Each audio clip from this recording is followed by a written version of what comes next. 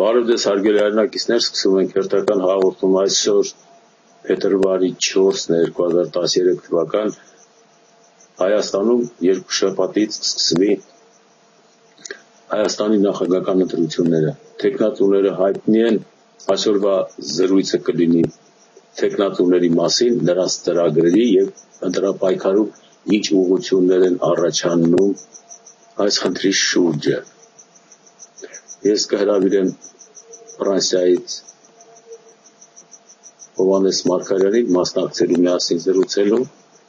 մի րոպե ես նրան կանչեմ։ Ողջույն հարգելի Հովանես, դուք գծի վրա եք, մենք միասին ենք։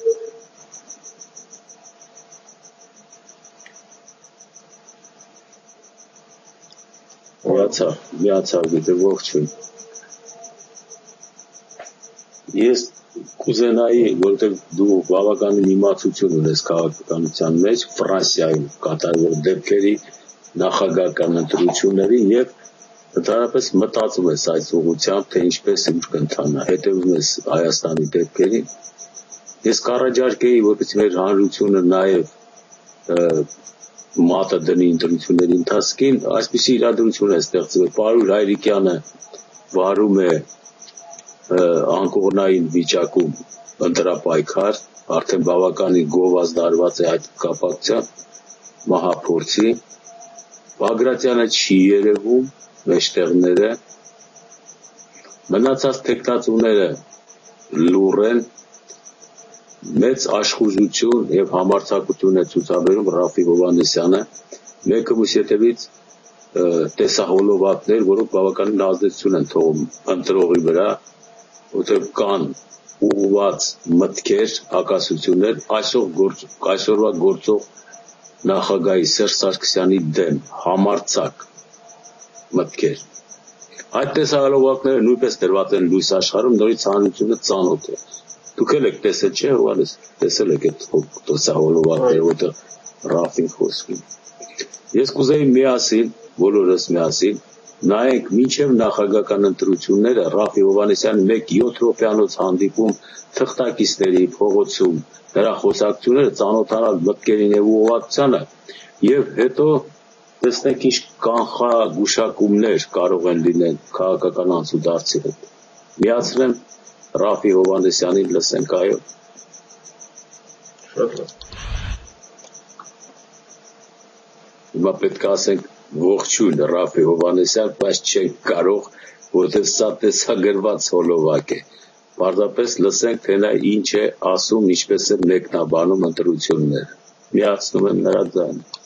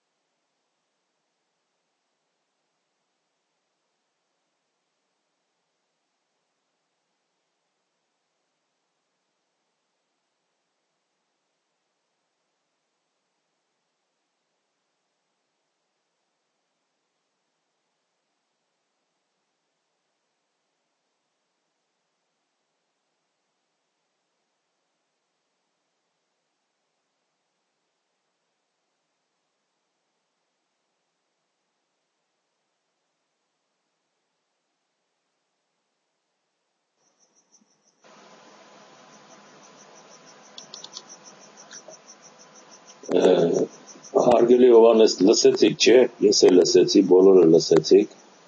Հիմա քննարկենք ինչ տպավորություն է դեր կարծիքը։ Դե ինչ տպավորություն պետք է նորություն չի ասված օգտագործված այն քարտերը որտեղ որ որը տրված է ներկա կառավարության կողմից տեխնացուն նույն պոզիցիան ունի ինչպես բոլոր տեխնացուները այդ հարցում էլ երբ իշխանությունների պիացման եւ այլն հարցերում ուրիշ բան որ շատ լավ օգտագործում Արաֆել Վանեսյանի հազարշավի մեջ տեխնոլոգիաներ տեխնոլոգիաներ որոնք պատրաստվում են ինչ որ ասենք թե ինստիտուտներում համեմատած այլ տեխնացուների, որոնք անպատրաստ են փոքր տեխնացուների, օրինակ Արամ Հարությունյանը, որոնք քիչ տոկոսներ են հավաքում, են անպատրաստ են։ Ռաֆայելյանը պատրաստված է տեխնոլոգիաներ օգտագործում, նույնիսկ խոսքը բառեր կա, որոնք այդ բառերը ինքը պետք է անընդհատ ասի անպայման, որովհետև դրանք հենց այնպես բառեր չի, օրինակ այդ բառերը փորձում են բառերի ուժը, քաշը հասկանալ էլի այդ ինստիտուտները այդ բառերը օգտագործելուց ինչ ազդեցություն ունենում եւ ինչա պատկերացնում ժողովուրդը ինչ կոլեկտիվ հիշողություն ունի այդ բառերի նկատմամբ եւ այլն եւ ինչ ասում հիմա վերաբերվող վերաբերվող բանին այդ այն ինչ որ ասվեց այդ ընտրությունների ընտրակերտիկների առումով ճիշտ ասած նորություն չէ, էլի։ Ես երևի շատ ուշադրիչ չեղա, բացի դա շատ չեղավ ուշադրիչ, դրա համար պետք է ինչ մի հատ էլ նայենք։ Ես մոտավորապես հիշում եմ, հատված առ հատված պետք է քննենք ամեն խոսքը ինչա նշանակում Ռաֆի Հովանեսյանը։ Այդպես մեկ չեք կարող, այդպես մի անգամից ամփոփելու դուրս եկար, որ կվերջացնես։ Ախր ինքը ասեց ասեց բան չասեց, է։ Ասեմ, խնդիրը որն է։ Իրականում 7 րոպեատով խոսակցության մեջ մենակ տպավորություն ու ազդեցություն է բայց բան չասեց էլի ես իսկ ասած չգտա ինչ որ բան որ կարճ դրա վրա խորանակ դրա որ ես մնացի տեխնոլոգիաների վրա որովհետև ավելի շատ ֆորման իմ վրա ազդեցություն թողեց քան թե մեջ եղած է հիմքը մեջ եղածը բան չկար որպեսի մեր ազդեցություն թողել Վերջի վերջի տեսահոլովակները, որը կազմված է որպես գովազդային, այսպես նախընտրական տեսահոլովակներ, խիստ տարբերվում են այս ելույթից։ Չնայած այս ելույթի եւ այդ տեսահոլովակների մեջ ընդհանրական մտքեր կան։ Տեսեք, հարց է տրվում ժուրնալիստները, ասում են ժողովրդի մասնակցությունը կապահովվի արդյոք եւ բայց ռապին արդեն վերլուծում է թե ժողովրդի մասնակցությունը ինչի հետ է կապված ընդգծում է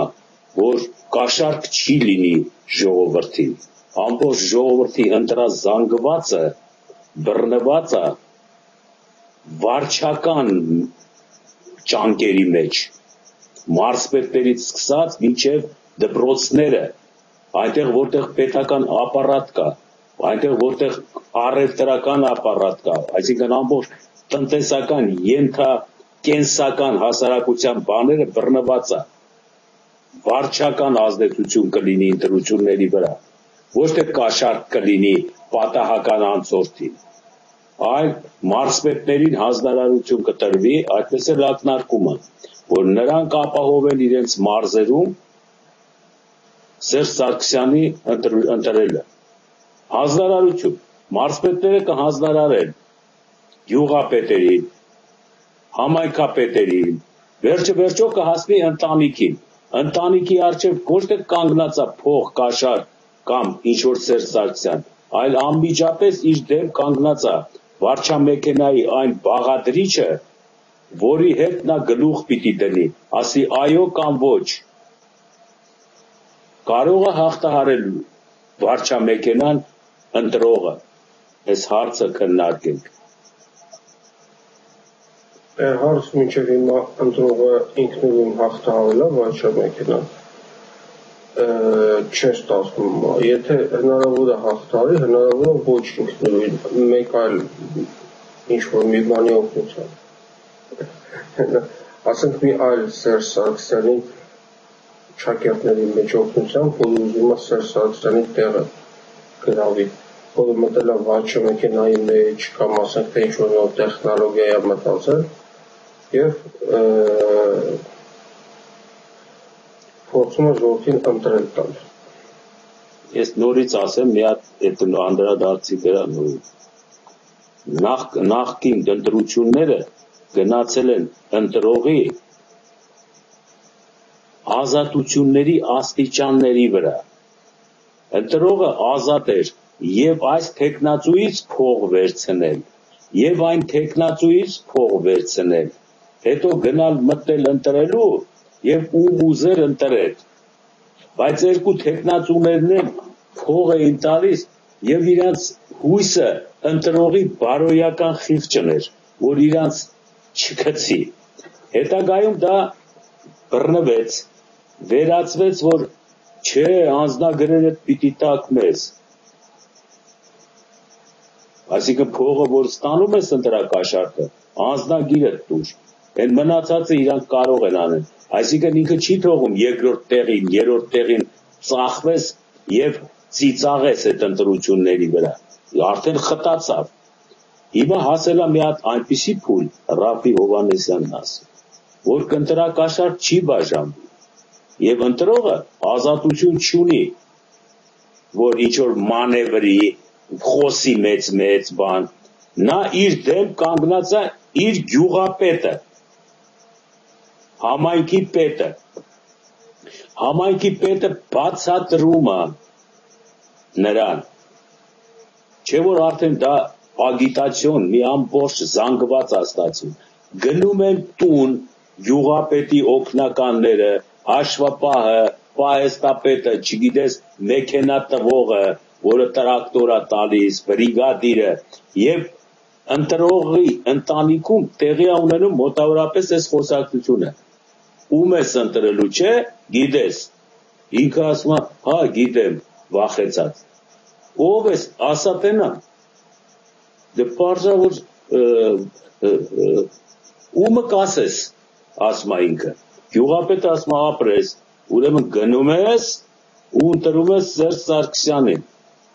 Եղավ այս խոսակցությունը գնում է ամենավերջի ընտրողի տանը ոչ թե կագեբեն է գնում, ոչ թե զինվորականությունը, ոչ թե միլիցիան, այլ վարչամեքենան, որովհետև գյուղապետը նշանակված է այն մարզպետի կողմից, որին նշանակել է Սերժ Սարգսյանը, որը ՀՀԿ կուսակցության անդամ է, եւ այս ամբողջ զանգվածը մի ամրակուր շոշափուկներով ազդելու են ընտրողի վրա։ Ընտրողը գումար չի ստանալու։ Եթե նույնիսկ նրա մտքով անցնի գումարի անուն տալ, նրան վերջի օղակները վարչամեքենայի պարզապես տերորի կենթարկեն։ Կասեն գումարը հետո կստանաս, այլ ոչիլ կեթաս ու կընտրես ինչ որ քեզ ասում են։ Այս խոսակցություններն է տեղի ունենալու։ Ռաֆին դրա մասին է խոսում Հնարավորություն չի։ Դա բանը, այսինքն ընտրողի ընտրողի վիճակը ավելի ավելի վատ առաջ կողմը գումարը պաստակում։ Հիմա գումարը չի աշխատում։ Ընտրողի մի ճանապարհ կա եւ ժուրնալիստները այդ մասին են խոսում, ասում են իսկ դրանից վախեցած ընտրողը որ չգնա ընտրությունների պատկերացնենք ընտրողները փող չեն վերցրել խոստացել են, որ կգնան ընտրությունների կընտրեն Սերժ Սարգսյանին ու չեն գնացել։ Ինչ է կատարվում։ Այդ այդ բանը մի հատ պատկերացրու։ Ինչ է կատարվում։ Չեն գնացել։ Այդ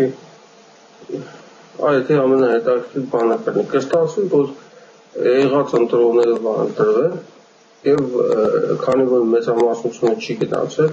լեգիտիմություն չունի էլի պրեզիդենտը տենց կստացվի։ Ну, սկզբունքը, պրինցիպի։ Հետո թե ինչ կլինի, չգիտենք։ Հա, բայց այդպես ո՞նց կլինի, ով ովանես, որ ասես չգիտենք բան, պետք է մտածենք, ասենք, չէ, ինչ կլինի։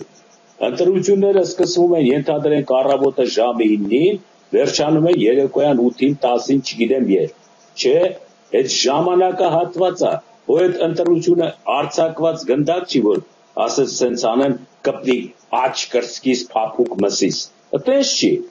ժամի 9-ին որ ընտրությունները սկսվեցին գիշերվա խոսակցությանը մասնակցած վարչամեքենայի վերջի շոշափուկները անմիջապես հսկելու են ընտրության գնացել ես թե չէ դու պետք է ասես գնացել եմ ինքը պետք է ասի անձնագիրը ցույց տուր տեսնա մեջը խփած է Այսինքն այդ ասածը արդեն է։ Ահա, տերորը, բայց ի՞նչ տերոր։ Մարդ չի մեռնում։ Պարզապես վարչա մեքենան հայ ժողովրդի ակտիվությունը բարձրացնում է, որpիսի հանկարծ թշնամական ուժերը պրավալի չտան նախագահի ընտրությունները եւ Հայաստանը չտուժի դրանից։ Հետևաբար դու գնա եւ կատարի քու քաղաքացիական պարտքը Այսպես է մեկնաբանվելու։ Որ տերոր չեն ասելու։ Մոտիկանալու է գյուղապետը իր մանկլավիկներից գյուղը նկարագրենք, որտեղ ընտանիք գյուղապարչա մեքենան նույնն Ով չի գնացել ընտրության։ Կազմու պատրաստ կատարածուները ասում են, «Էս ինչ է, այն ինչ է»։ Բախի չի գնացել։ Ասել է, «Էսա կգնա»։ Դե նայեք, հա տեսեք, հանգած գլուխ չպահի։ Այսրանք երկու ժամից հետո ժամը 12-ին մի հատ են գնում։ Հələ ստեղ ես ասում են, հələ չես գնացել ընտրությունը։ Ոնց գնամ երեխեն հիվանդաբան, արի մեկ կտանենք։ Օ, մարդկային օգնություն։ Եղավ, բայց ինքը փախուշ չունի մատ չմասնակցելուց։ Ժամը 5-ին պատկերացնես չմասնակցողների վիճակի ինչ ալու։ Դռներն ու պատուհանները ծենծում են, ասում են գնացեք հայրենիքի դավաճաններ, մասնակցեք ընտրություններին։ Այս ճնշմանը կդիմանա այն մարդը, որը որ ասում է չեմ հետում ընտրություններին։ Կելնի դանակը կպայի կասի ոչ ոք չգա իմ վրա, ես չեմ գնում ընտրությունների։ Այդպիսի բան չի լինի։ Որտեվ վարչա մեքենան իր շոշափուկները մտցրել է մինչև վերջ։ Ճիշտ է թե չէ, Հովանես։ Դե հա, Հələ թող մեկը փորձի չգնալ այն էլ այս սուղ վիճակում, երբ որ 2.5 միլիոն ընտրողներ մեջ բերեցին, Ռաֆի Հովանեսյանը ասում է, այդ կեղծ ցուցակները չի անցնի։ Այսինքն վերևից արդեն գալիս է մի հատ դիտորդների բանակ, որը հիմա չենք տեսնում, ովքեր են, որոնք բռնելու են այս կոկորտից վարչամեքենայի։ Եվ վարչամեքենան ստիպված է բռնված, խեղդված վիճակում բոլոր ընտրաձայների վրա կոնտրոլ անի իր շոշափուկներով, մարզպետներով, գյուղապետերով, համայնքապետերով, թաղապետերով։ Ճիշտ չեմ ասում ովի։ Ռաֆի Հովանեսյանից է բխում։ Ուրեմն բոյկոտի գաղափարը, որը շատ գեղեցիկ է, որը դու բնորոշեցիր, որ դա տերոր է։ Ընկեր, Պարույր Հայրիկյանի դեմ կատարված մահափորձը տերոր չի։ Ում նկատմամբ։ Պարույր Հայրիկյանի որպես նախագահական տեխնատու, այդ տերոր չի։ Լրատվական է դա, չէ՞, վերջը վերջը լրատվական տերոր է որը ընտրողի վրա պետք է ազդի։ Անպայման։ Ահա։ Մեկը ուրեմն պիտի ազդի այս ձևով, մյուսը պիտի ազդի այն ձևով։ Ռաֆի Հովանեսյանը նկարագրում է դրանք, ասում է այսպիսի ազդեցությունների արժեվ է կանգնելու ընտրողը։ Միայն գնա ընտրությունների։ Հիմա նրանք 2-300 հազար, որոնք ասում էին կպայքարեն, կգնալու Պարույր Հայրիկյանի վիճակից դրթված միանգամից ազատվում են գյուղապետերի հարձակումներ, գնում են ընտրություններ։ Պարույր Հայրիկյանին ընտրելու։ Ու բրցնելու ես փորձանքից, որովհետև փող տվող չկա, Պարույր Հայրիկյանը փող բաժանող, հա, փող չունի ինքը։ Իրա ընտրա գրավը որտեղից է ճարի հայտնի չի։ Այդ ընտրություններին կաշառքի տեխնոլոգիայով խաղալու համար առնվազն 20 միլիոն դոլար է պետք։ Եթե 20 միլիոն դոլար Պարուր Հայրիկյան ունենա, ինքը գիտի ծախսելու ձևը։ Նա երբեք այդքան փող չի տեսել։ Լավ, Հովանես։ Ռաֆի Հովանեսյանի մասին ենք մենք խոսում։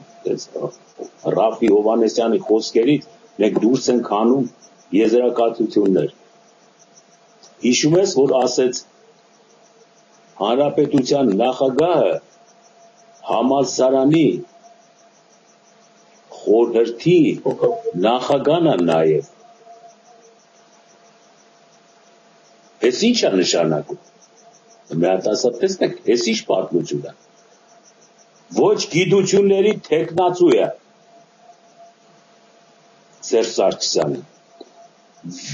Ոչ մի աշխատություն չունի, ոչ մի բան չունի։ Հայաստանի Հանրապետության նախագահն է, Հայաստանի Հանրապետական կուսակցության նախագահն է։ Հայաստանի Հանրապետական կուսակցության նախագահը կամ պրեզիդենտը ինչ գործ ունի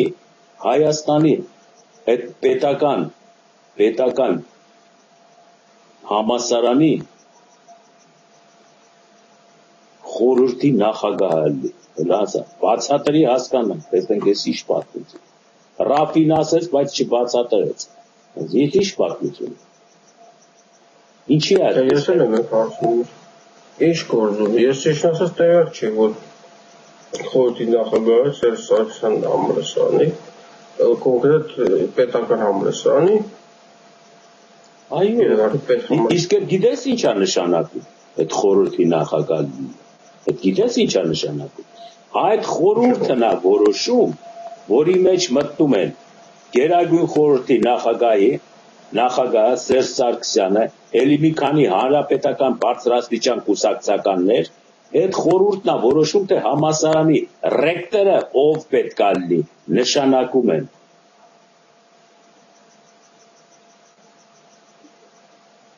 Ուրեմն Հայաստանի Հանրապետության բարձրագույն բուհի ռեկտորը չի կարող այլ կուսակցությունից լինել։ Դրա համար Արամ Սիմոնյանը կուսակցության երկրորդն է, երրորդն է, ինչը հանրապետական կուսակցության անդամ է։ Հիմա Ռաֆի Հովանեսյանը ասեց վրայից անցավ, բայց մենք քննարկում ենք, որ սա բռնատիրություն չի, ուրեմն ընտրությունների ընթացքը կգնա համասարանի ընտրած ձայնը ուսանողներով ում նա պատկանում համասարանի ընտրած ձայնը բանակի ընտրած ձայնը ամբողջությամբ մարզերի ընտրած ձայնը բարձակուն ուսումնական հաստատությունների խորհուրդների նախագահները բոլորը հանրապետականներ են եթե եթե ուշադրություն եք դարձել արդեն Աշոտյանը զգուշացել է որ վատ աշխատող ուսուցիչներին, դիրեկտորներին, տնօրեններին, պատասխանատու տնօրեններին պատժելու է հանելու է գործից։ Իսկ այստեղ պետք է հասկանալ նաև երկրորդ վատ աշխատող ինչի մեջ վատ աշխատող։ Ինչի մեջ վատ աշխատող, ինչ։ Այսինքն, եթե նրանք չկատարեն վարչամեքենայի հրահանգը, աշակերտների ծնողները հավատարմություն չցուցաբերեն Սերժ Սարգսյանին ընտրելու գործում, ապա նրանց խնդիրներ է սպասվում ծնողը, որի երեխան սովորում է կրթական համակարգում Աշոտյանի, կարող է հանկարծ պատահի իր վրա վերցնի պրեզիդենտը սա լավն է, սա վատն է, այս այս գործի քննությունը։ Ինքը պետք է գլուխը ազատի, ոնց ասում է դասղեկը, դիրեկտորը,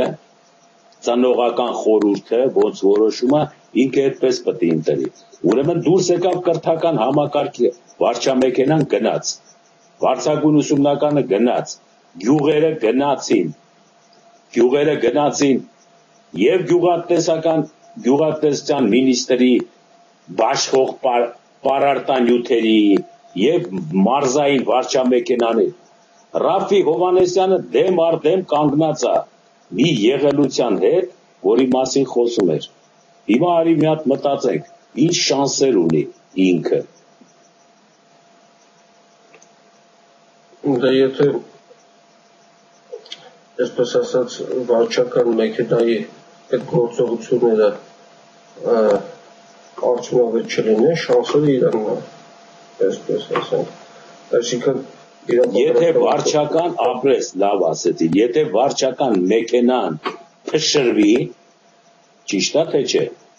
ու մարդկանց կամքը ազատվի, մարդիկ կամավոր գնան ընտրելու, Ռաֆի Հովանեսյանի շանսը թռնում է 90%։ Այո եւ դա բացատրվում է մի բանով, որ այսօրվա աշխարհում ընտրական տեխնոլոգիաները դրանք մանիպուլյացիոն տեխնոլոգիաներ են, չկա դրանից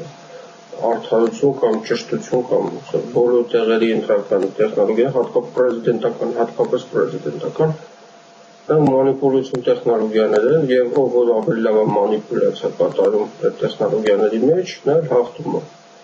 Այսինքն Ռաֆի Հովանեսյանի մոտ հիմա ավելի լավ պատրաստված մանիպուլյացիա կա։ Իսկ հանրապետական կուսակցության մեջ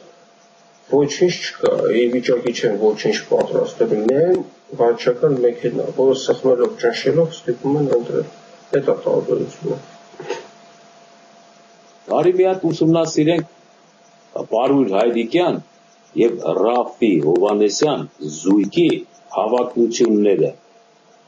նրանք միասին են, թե հակառակ են։ Նրանցից որն է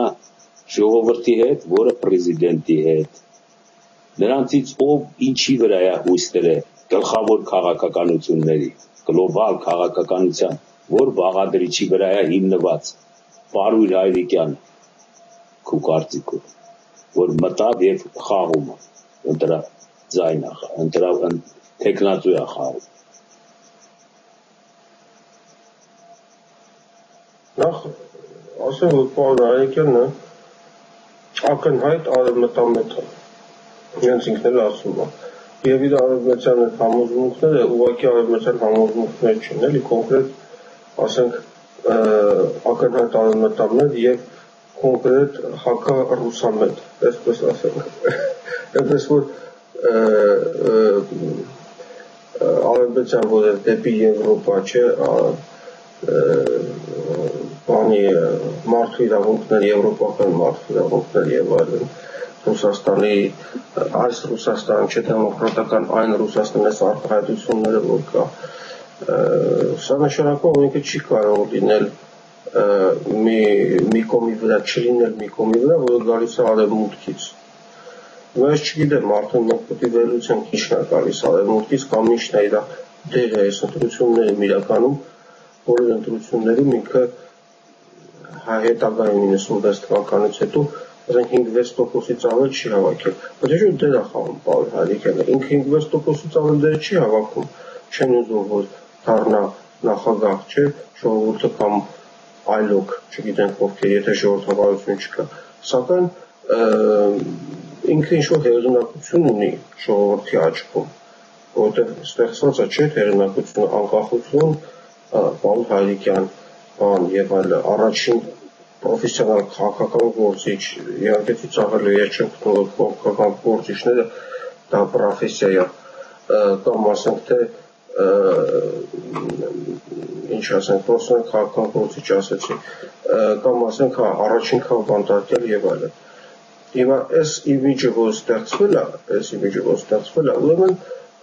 որոշակի ազդեցություն ունի ուժ ունի հիմա այդ իմիջը կարա եթե անպայման չի որ դեպի նախագահական ընտրությունների տանի, ապա նպաստի ինչ որ մի բանի։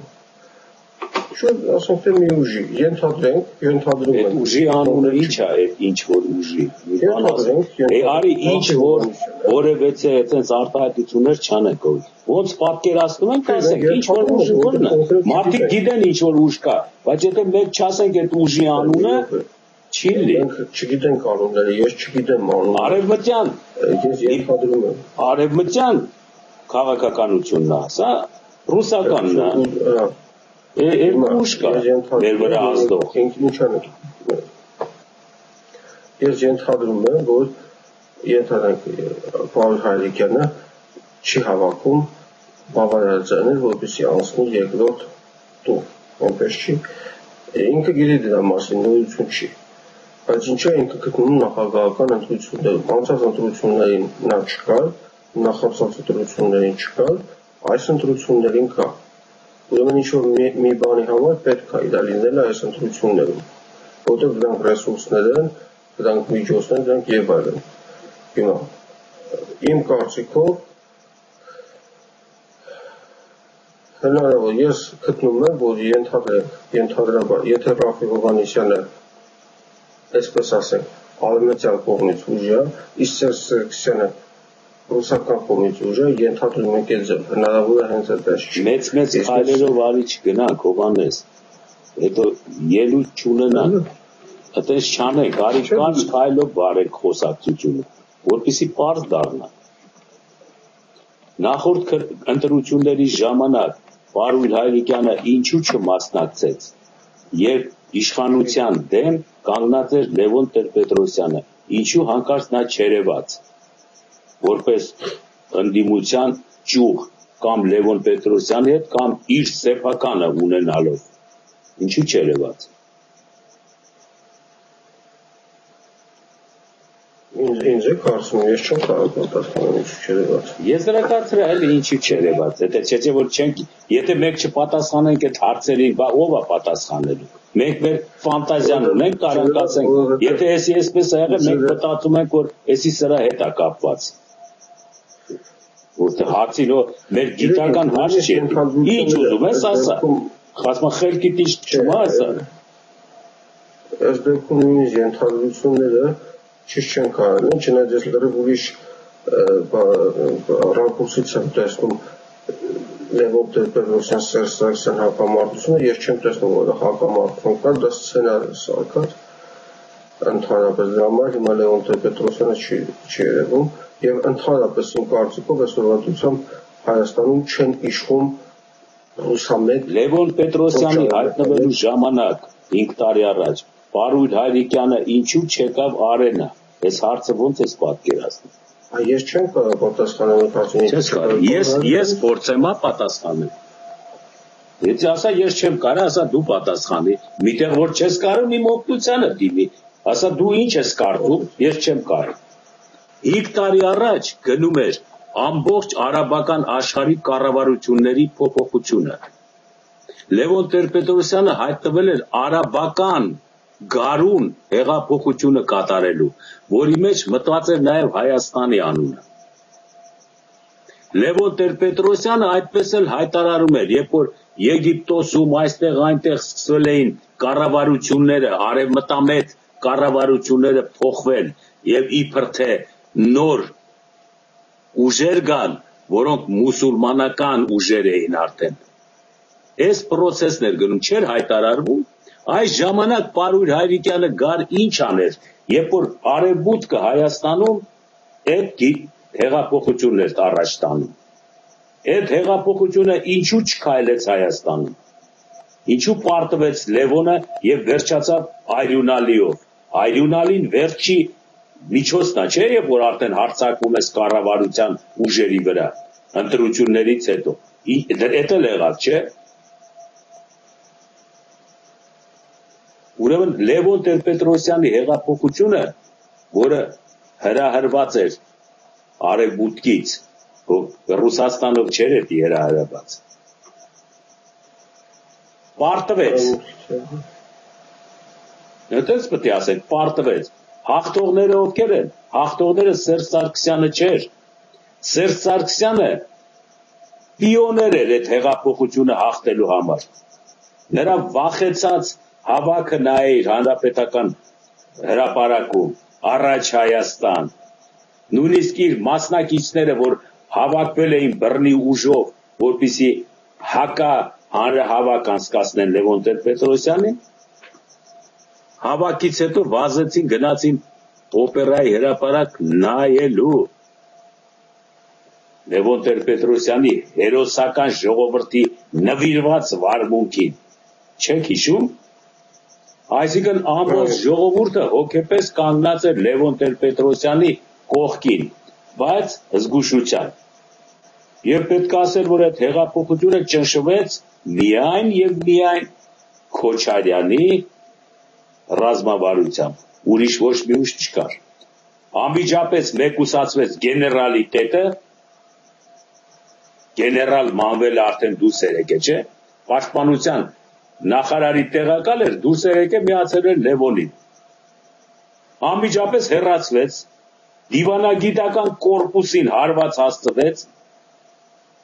Շուգարյան Ռուբենը, որը որ միացավ Լևոնին, այսինքն արևմուտքը պատրաստել էր եւ զինվորականը, եւ դիվանագիտական կորպուսը, եւ հրաապարակը։ Քոչարյանը կտրեց իրեքին է։ Անցան զինված հապստամբության եւ սպանությունների, բայց ամեն ինչ վերջացավ փաստով։ Կողքից վազելով եկավ Սերժ Սարգսյանը, որը այս բոլորին նա չէր կարա դիմադրել։ Եւ նստեց աթոռին։ Այսօր Քոչարյանը չկա եւ չի էլ գալու։ Նրա գովազդանել, որ նա խելոք պրեզիդենտ է, չէ, բայց ասում ես 2008-ի նախագահական ընտրություններ ինքը տարավ իր ուսերի վրա։ Եվ հանձնեց Սերժ Սարգսյանին, որը 5 տարվա մեջ կարողացավ վարչամ մեքենան բռնել, ուրիշ ոչ մի բան, ոչ տնտեսությունը, ոչ արտաքին քաղաքականությունը, ոչ Ղարաբաղի հարցը, ոչ մի բան։ Վարչամ մեքենան հիմա ինքը բռնեց 5 տարվա մեջ։ Այս վարչամ մեքենան ինքը իրանից նորից ներկայացնում է Եգիպտոսի վարչամեքենա, նորից արաբական գարունի հոտ է գալիս։ Վարչամեքենա, որտեղ կա, որտեղ ժողովուրդը փախնում է եւ պատվազրկվում է լիբերալ ազատական ժողովրդավարական գաղափարը, այդտեղ հայտնվում է տերը վերևից։ Ասում է, ինչ է կանում ստեղ։ Դուք գաղափարին եք խփում, չէ՞։ Ինչ է նշանակում Ռաֆին հայտարարում է Հայաստանից 5 տարում 200.000 մարդ է արտագաղթել։ Այդ նշանակում է, որ կոմունիստական գաղափարները լավն էին ու սիրուն, կարտագաղթ մարտագաղթ չկար։ Լիբերալ բուրժուազիան ազատական եկելը մարդիկ փախնում են իրանց ազատ անկախ երկրներից։ Այս ով թույլ կտա վերևներից, որ այս գաղափարները այսպիսի ոտնատակ ընկնեն։ Թույլ կտան թույլ չեն տա։ Ուրեմն հիմա այս քայլերը ինչ որ կատարվում է Սերժ Սարգսյանի դեմը, որը վարչամեքենան է բռնել, համասարանի գիտ ոչ թե գիտ խորհուրդը խորհուրդն է բռնել գլխավոր բռնել է ամեն ինչ իր մարդկանցով կուսակցությունն է բռնել եւ սրա դեմ կռվող պիտի լինի հիմա նայենք այս կռվողներից մեկ-մեկ ասենք ովքեր են այս կռվողներից բայց այսքան ասում եք, ինքը նաև շատ լավ հաջողացել է արևմուտքին եւ շատ բաներ արել է։ Ո՞վ հաջողացել է։ Ո՞վ Սարգսյանը։ Սերժ Սարգսյանը դնելով արևմուտքի ուզած վարչապետին, վերցնելով արևմուտքից անչափ անսահման կրեդիտներ, արևմուտքին այդքան բաներ արել, դու մենակ ասում չարել։ Ինքն է հաջողացել արևմուտքին։ Հիմա հաջոյան նայ արևմուտքի կհաջոյանաս կհաջոյանաս բայց արևմուտքին դեմ չես կարա գնաս ինչքան ուզում ես հաջոյացի որ մի պետությունն է արևմուտքի դեմ գնացել մատերիք վրա հաշվում ես Բելարուսիան Վենեսուելան ելով կա Պարսկաստանը Պարսկաստանը ելով կա։ Լիբիան է, հիմա չկա։ Լիբիան, որ չկա, Սիրիան, որ մուխը մարում է, կամած կամած։ Հիմա արևմուտքի դեմ գնալու քաղաքականությունը ինչպիսի ելք ունենա ըստ քեզ։ Դե հենց դա համար եմ ասում, ինքը ինչի որպեսի չգնա արևմուտքի դեմ, կարա արևմուտքի համար աշխատի Հայաստանում, չէ՞ որ ինքը արդեն պրեզիդենտ է, ինչու փոխել պրեզիդենտին, երբ որ արդեն կա արևմուտքի համար պատրաստ աշխատող պրեզիդենտ, ուղղակի ստե ուրիշ խնդիր է առաջանում։ Հասա ինչ խնդիր։ Բայց խնդիրները մեկ-մեկ կքննենք, ինչ խնդիր ուզում ալի։ Խնդիրը անունը դուր, բացենք այդ խնդիրը, ինչ խնդիր օգտվում ենք Ռաֆի Հովանեսյանի ելույթի ելույթի տվյալներից, հա։ Ինքը Մարգարեյանը բաց է, այդ էլ ես ինչ էր ասում։ Շփ շփ շփ շփ մենք նրա խոսքերը բերում ենք, դնում ենք սեղանին, քննում ենք։ Եվ հետո տեսնենք որ տեխնացուի վրա այդ խոսքերը ինչ կշիռներ պիտի դնվեն։ Ով կարա այդ այդ բերը տանի որ Ռաֆի Հովանեսյանը ասում է ով կարա տանի ասենք քննենք մենք բան չունենք չքննելու տրամադրություն Ռաֆի Հովանեսյանը մեր օգնականն է երբ ուզենք կմիացնենք կլսենք 7 րոպե է խոսում եւ իրանից մի ցիտատ որ վերցնենք մենք ասենք սա սա սա սա է սա սա սա ասեց 200.000 արտագաղթա կատարվեց Սերժ Սարգսյանի օրը ասեց 200.000-ը 10%-ն անում Հայաստանի։ 80%-ն անում Հայաստանի աշխատաուժի։ Եղավ խաղ ես անում 200.000 ֆիզիկապես առողջ ճանապարհ կարածող հետացող աշխատաուժին հենց այդպես հայտարարես 200.000